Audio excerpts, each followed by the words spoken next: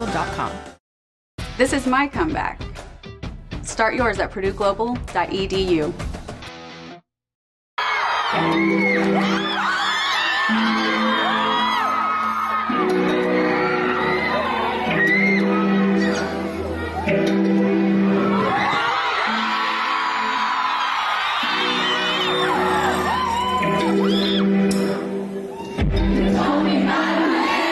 So